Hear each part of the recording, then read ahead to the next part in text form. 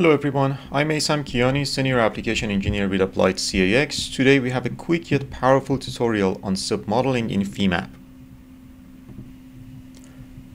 In this session, I'll walk you through a complete submodeling workflow from creating a global model to setting up a refined submodel and finally comparing the results this technique is incredibly useful for engineers working with large assemblies or detailed stress analysis, and FEMAP makes the entire process seamless and highly efficient.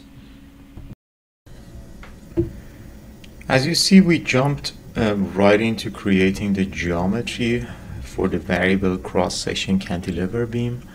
The base section of the beam measures uh, 1 by 2 inches while the second half narrows down to 1 by 1 inch. To keep things simple, I want to spend time on material and property naming as we only have one of each. Feel free to use your preferred naming conventions for better organization. Now let's define the material properties. Um, since this is a linear static analysis, we only need Young's modulus and Poisson's ratio. Uh, then we define a single solid element property and apply it to the model. Then assigning the mesh attribute to the geometry and define the mesh sizing.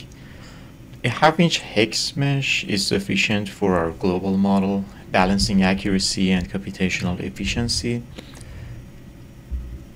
And uh, finally, I'll load my customized view to visualize the mesh density uh, more accurately.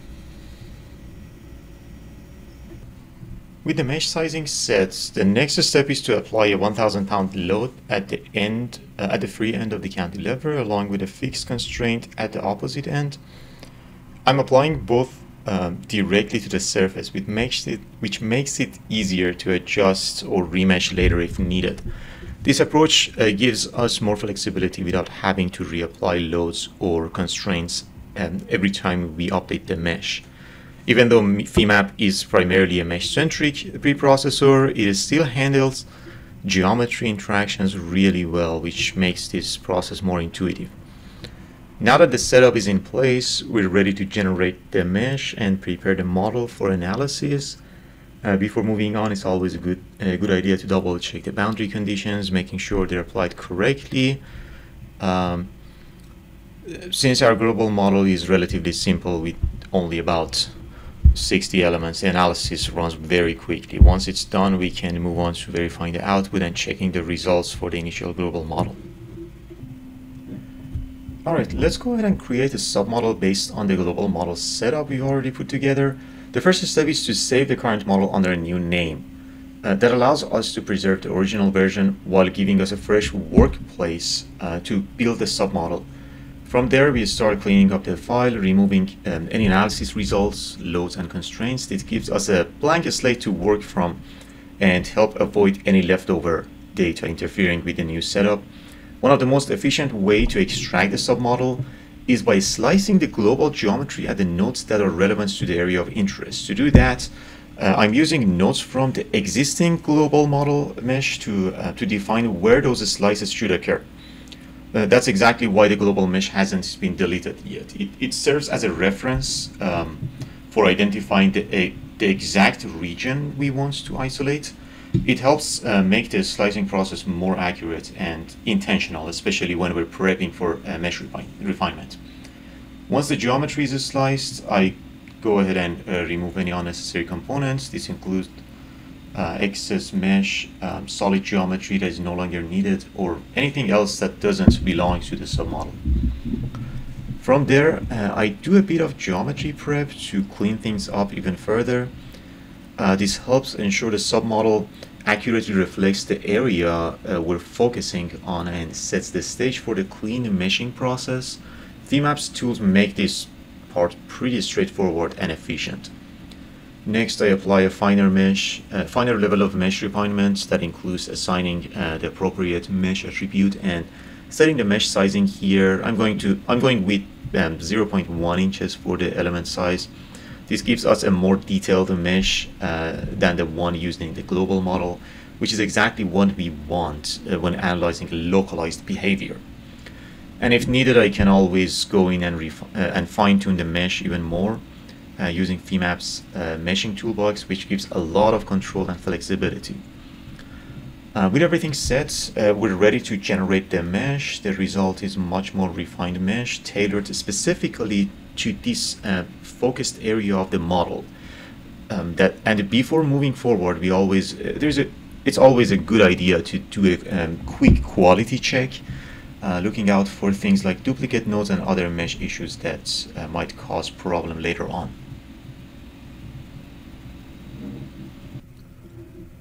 Now we need to map the loads from the global model onto the refined submodel to ensure it behaves as if it's still part of the full assembly. To do that, the global model needs to stay open so we can directly access and transfer the output data. Inside the mapping uh, tool, we select the appropriate output set and output vector. In this case, there's only one of each, so it's, it's straightforward. But in a larger model, it's important to double check that you're selecting the correct data set. Um, we're using enforced nodal displacements, which pulls the displacement data from the global model at the interface nodes and maps it mm, onto the submodel. This lets the submodel respond realistically as if uh, it were still connected to the full structure. After mapping, we highlight the affected nodes to confirm everything applied correctly. Just a quick visual check before moving on. Um, next, we apply fixed constraint uh, to the relevant boundaries. Even though these regions are getting fixed, the Nastran solver still accounts for the enforced displacement, so the submodel response stays accurate.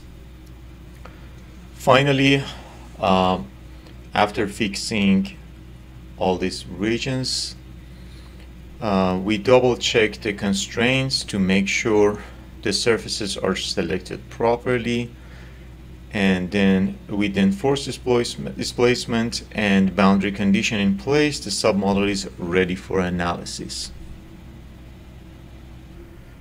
Let's go ahead and run the analysis on the local uh, submodel. Once it's finished, we can press F5 to bring up the stress contours and take a closer look at these results.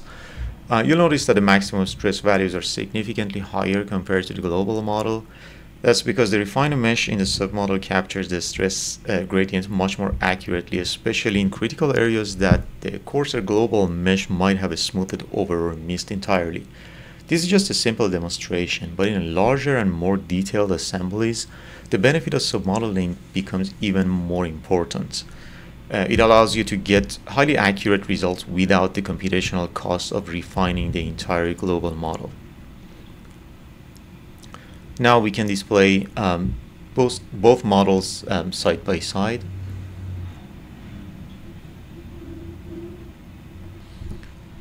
As you saw, FEMAP provides a great level of control when it comes to pre and post processing for advanced FEA workflow, including uh, seamless sub-modeling integration as well as um, intuitive data mapping and load transfer from global to local model. For more tutorials, uh, trainings, or expert support on FEMAP and Nastran, visit our website appliedcax.com. Thank you for your time and I hope you found this tutorial helpful.